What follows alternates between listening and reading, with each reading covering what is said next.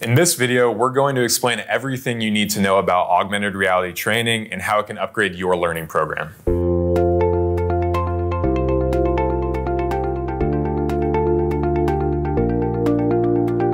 Hi, I'm Joe DeLugas, account executive at Roundtable Learning.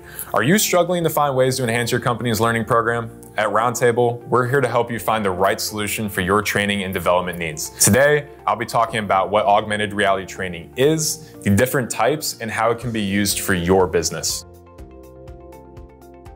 Augmented reality can be defined as using a phone, tablet, or even a headset and placing a 3D modeled object onto a surface and actually studying that object or whatever it might be and interacting with it. So you can pull the object apart, you can interact with the components on the inside, and also learn along the way with knowledge checks and overlay multimedia as well. There's a lot of different things that you can do with augmented reality to really engage your learners and provide that interactive training tool to really give that ultimate learning experience.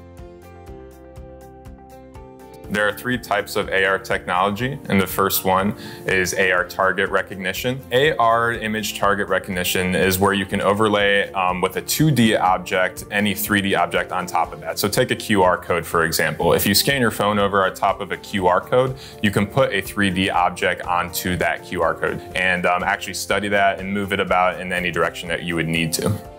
AR ground plane technology is where you can take any 3D object and place it on a flat surface. Take a car, for example. You can place a one-to-one -one scale model of a car and put it anywhere. So it could be in your own living room, it could even be in a parking lot, and you can go up to that car. You can go inside the car and see the components within it, rotate it in any way, direction you want, and study any part of the car if that is the object of the training. AR scenario training is where you can place a 3D object onto the floor surface or even a table surface and practice scenario training. So take learning a POS system, but also wanting to practice some customer service skills. You can place a POS system onto that surface, actually practice with the system training, so understand how the buttons work. And again, it's one-to-one -one scale, so it'll be exactly how the actual POS system is in real life. And then you can have a customer across from you, so you can interact with the customer, you can ask them how their day is is going and actually practice those different tools and those sales tools to ultimately not only train on the system, but train on customer service as well. AR training can be used for a variety of technical problem solving skills. So Let's say you want to train on an engine, but the big problem with training on engines a lot of times is that they're too big and too heavy, so you have to bring a lot of people into one room to train on one engine. This is not a very conducive learning setting for many of your learners. So AR can help solve this problem. With AR, they can have the engine on their mobile device, on their tablet, or even in their headset, and they can place that engine in whatever room they may be in, and they can individually be trained on that engine. Everyone learns at a different pace, so having that engine in their back pocket essentially and placing it into the middle of the room is a great learning technique for them to actually train on the components, the parts, and the process of repairs that would ultimately help them get through the training faster and more effectively. AR training can be great for multi-step tasks as well.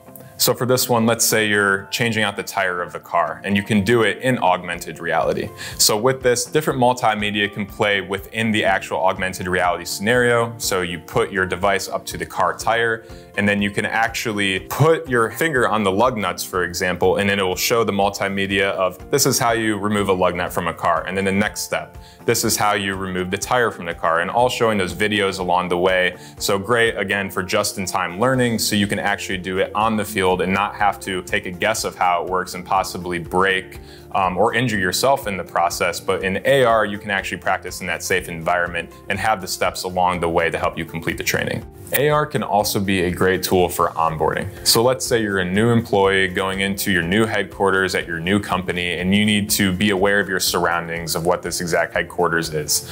So it's a giant campus and you can have your phone with the QR code and go around to different areas of this headquarters so you can open up the QR code and maybe the CEO is talking to you in this room and maybe the VP is talking to you in this room.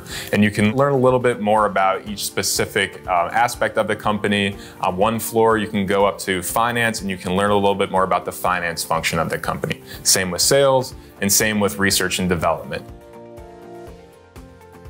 When partnering with Roundtable on an AR training program, we typically don't do the one-off AR training. It's usually taking a blended approach and using multiple modalities to ultimately give you the best product at the end of the day. AR is not the end-all solution to everything. We're not gonna throw you a technology and say, figure it out, this is the only way to do it. We might pair it with an e-learning. Again, we might overlay some different multimedia along the way to again give it that blended feel. And ultimately, we're going to be with you the entire step of the way way. You won't just be given the technology, you'll have someone on our technology side with you along the way to again give you that resource you need to feel comfortable with an investment such as augmented reality.